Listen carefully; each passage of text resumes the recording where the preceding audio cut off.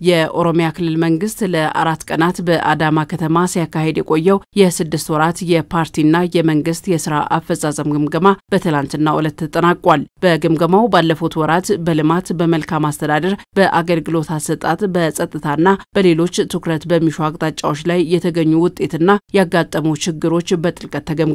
የተያዙ እቅዶችን የህብረተሰቡ ተጠቃሚነትን ለማረጋገጥ እንዲያግዙ የተደረገው ጥረት ተስፋ ሰጪና የአመራሩን ቁርጠኝነት የታየ የበት ነው። ውስንነቶች ቢኖሩበትም ብለዋል የክልሉ ርዕሰ መስተዳድር አቶ ሽመልስ አብዲሳ።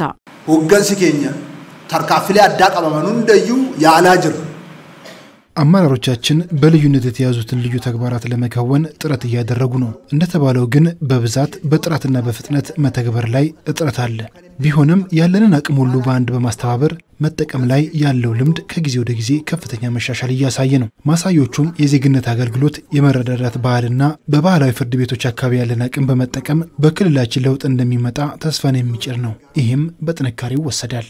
ሆሩ ጀልቀቤ ጅረ ይቻላል ኩን አከ በልማት ስራዎች በፓርቲና በመንግስት የሚቀመጡ አቅጣጫዎችን ተፈጻሚ እንዲሆኑ የተሰራው ስራ በጥንካሬ የሚነሳ ቢሆንም ህብረተሰቡ የሚያነሳው የአገልግሎት አሰጣጥ ችግር አሁንም ትኩረት የሚሻ ነውም ብለዋል። ታጃጅል ሞቱማ ረኮ ጉዳ ቀባ የምንሰጠው የመንግስት አገልግሎት ችግር አለበት። የምንሰጠው አገልግሎት ከተሻሻለ ነው ግባችንን ማረጋገጥ የምንችለው። ሁሉንም ነገር የሚያንቀሳቅሰው የምንሰጠው አገልግሎት ነው። አገልግሎት አሰጣጥ በወደቀበት መበልጸግም ሆነ የቤተሰብ ብልጽግናን ማረጋገጥ አይቻልም። ችግሮች አሉ። ነገር ግን ዋና ክፍተታችን አገልግሎት ነው።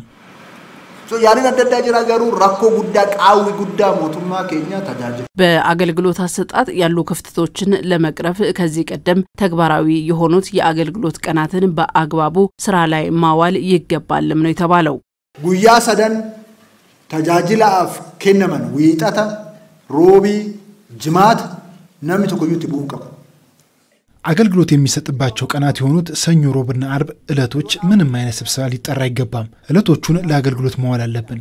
ሌላው እንደ ህዝብም ሆነ ማህበረሰብ የቁጠባ ባህላችን ክፍተት አለበት። ይህንን ክፍተት እኛ መውሰድ አለብን። ወደ ህዝብ መግፋት የለብንም። ሐዋሳ ኤክስተርናላይዝ ጎቹን ከነ ኦፊ ቀምና ከ ሞቱማት ሐዋስን ኬኛ ሐዋሳ ቁሰቱ ተው ቀብ ዮ ቁሰቴ መሌ ፊውቸር ይቀቡ መልኩ በሌላ በኩል አመራሩ የሚያጋጥሙ የጸጥታ ችግሮችን በመቋቋም የተቀመጡ የተለያዩ ተልዕኮችን ተፈጻሚ ማድረግ ላይ የሰራው ስራ የሚበረታታ እንደሆነም ተነግሯል። ኢኒሼቲቭ ወንጀነ ሰነ ከን ገዲ ቡስነ ሰነ የጉደቱ ነው መጀተማቸው ያወረድናቸው የተለያዩ ኢኒሼቲቮች አነሰም በዛም እየተሰሩ ነው።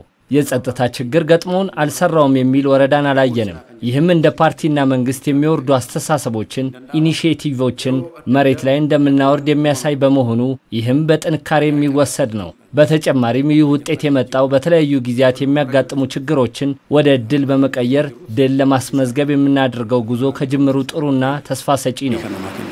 የልማት ስራዎችን መሬት ላይ ለማውረድ የአመራሩ ተነሳሽነትና ብቃት የሚያስፈልግ በመሆኑ ያለንን ሀብት መለየትና መጠቀም እንዲሁም የሁልጊዜ አጀንዳ ማድረግ እንደሚገባም አጽንኦት ተሰጥቶበታል። ሆገንስ ሚሶማስ ቀበተማን ኡመማ ጅራ ከን ጀዱ ከነ ላሉ እንደንዳማ በተጨባጭ ልማታዊ አስተሳሰብ ያለው አመራር ተፈጥሯል ማለት እንችላለን። በአካባቢው ያለውን ሀብት ማወቅ ማቀናጀትና አጀንዳ ማድረግ ተችሏል። አመራሩ አጀንዳው ስለ ልማት፣ ስለ ውጤታማነትና የህዝባችን ኑሮ መቀየርና የብልጽግና ጉዟችን የሚያረጋግጥ ሆኗል። አጀንዳ ኢማለ በዳድና ኬኛ ገልመንገው ደንዴኝ ተኤራ ጀቹ ከሁለት ሺህ በላይ አመራሮች ከተለያየ የክልሉ ክፍል የተሳተፉበት የክልሉ የስድስት ወራት የስራ አፈጻጸም የተለያዩ አቅጣጫዎችን በማስቀመጥ በትላንትናው ዕለት ተጠናቋል።